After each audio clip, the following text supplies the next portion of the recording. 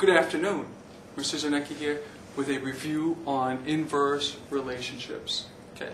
This standard basically says you need to know how to use inverse relationships for addition, subtraction, multiplication, and division, okay? In order to solve, you're going to simplify computations and you're going to solve problems. What does that mean? Very simply, it means this. It says, hey, if I multiply some number, and we're going to call this some number, we're going to use a variable called n, okay? I multiply that number, any number, by a half. It's the same as saying I took that number and I divided it by 2. Hmm, I multiplied by a half, which means I divided by 2. And this is only one part of the whole process. So we'll use this as an example to start. Any number, doesn't matter what the number is, okay? In this case, if I make n any number over 1, the value is still n. Any number divided by 1 is the number itself. So 8 divided by 1 is 8. 3 divided by 1 is 3. Whatever the number is, over 1 is still this number. So I now have two fraction, two fractions here. What do we do to solve multiplication? Get our answer we multiply fractions. Well, when we multiply, we want to multiply straight across. Straight across. Numerator times numerator. Denominator times denominator when we are multiplying. Here's our n times 1. Well, n times 1, some number n times 1 is n. Any number times 1 is that number itself. 3 times 1 is 3. 4 times 1 is 4. 8 times 1 is 8. So here we just get the number itself, whatever it is. Here we go 1 times 2 is 2. And now I have exactly the same looking thing. Like, ooh, what's that? Well, if we go back a second, okay, go back to what we said a minute ago, and what I will do is I will write it on the bottom here so that you can see it again. n times 1 half is the same as n divided by 2. All this is really is one step before we actually get to this step. Okay? Once we process this out one step, we wind up with the same thing. This will work, okay, for any number.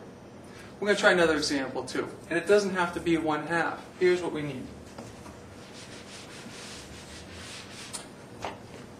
Let's pick a number. Instead of using n, let's pick a number. Let's use 9. Okay, I'm going to use 9 this time as a number. I'm going to multiply 9, okay? Multiply it by some fraction, okay? It doesn't have to be a half. The whole premise, okay, is that we have a fraction. Your numerator will always be 1. Numerator, always 1. Okay? Your denominator can be anything. What does that mean? I could have a 3, I could have a 4, I could have a 5, it doesn't matter. Let's, 9, uh, 8, make it 8. What we're saying is the same as down here. This will be the same as my original number, 9, divided by whatever my denominator is. So we're going to say this is, should be the same as 9 eighths, okay? We know that's an improper fraction. But for this purposes, we're going to leave it that way so you can actually see it come together and how it is exactly the same.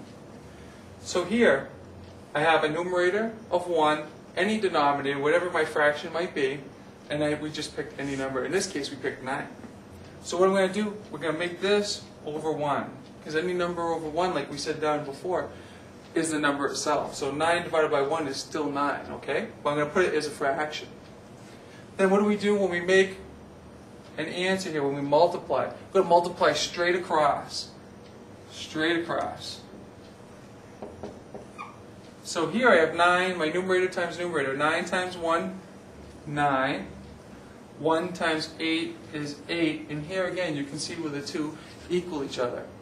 This works for every example as long as my fraction has a 1 in the numerator. Why? Because that 1 will multiply by this number and will always then be over the same denominator. Okay? That's why it works.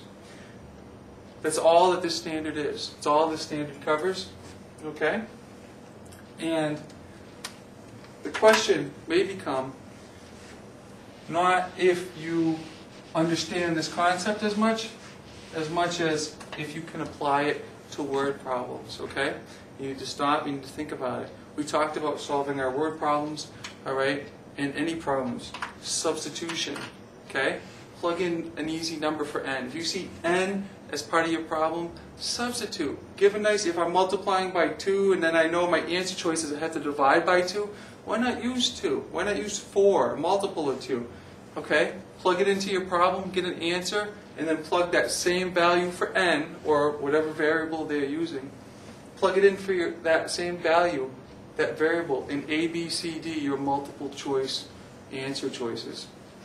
By plugging it in, you can then do the problem, and whichever answer choice gives you the same answer as the problem itself, that's your answer. Okay? Takes a little bit of extra work, but you're guaranteed to get the right answer. Okay? So, all about doing a little extra work so we can make sure we get the right problem. No silly errors. There you go. There's your review of inverse relationships. I hope that you like it, and take care.